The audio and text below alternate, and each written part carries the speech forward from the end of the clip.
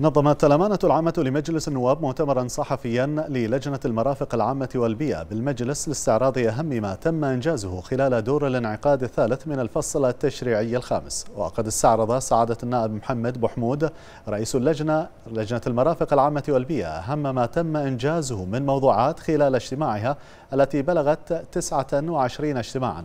حيث درست اللجنة بشكل مستفيض خلال دور الانعقاد المنصرم مشروع قانون بتعديل بعض أحكام قانون تنظيم الطيران المدني الصادر بالقانون رقم 14 لسنة 2013 المرافق للمرسوم رقم 11 لسنة 2020 كما رفعت تقريرها بشأن المرسوم بقانون رقم 32 لسنة 2020 بشأن قواعد التسجيل والسلامة والمراقبة الخاصة بالسفن الصغيرة مشروع قانون بالموافقة على انضمام البحرين إلى معاهدة المحافظة على الأنواع المهاجرة من الحيوانات الفطرية وغيرها من المواضيع.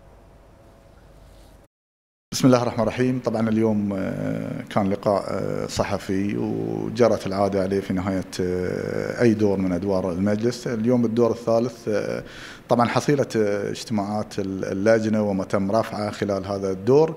كان 106 تقريبا عدد التقارير المرفوعة عدد الاجتماعات 29 اجتماع. يمكن النسبة العامة من إنجازات اللجنة كانت 88% من عدد التقارير والمشاريع المرفوعة إلى اللجنة تم رفعها من خلال اللجنة. طبعا كل الشكر والتقدير إلى كل من ساهم في هذا الإنجاز. اللي في النهاية نتمنى يتحول إلى واقع ملموس يشهده الكثير من المواطنين على أرض الواقع.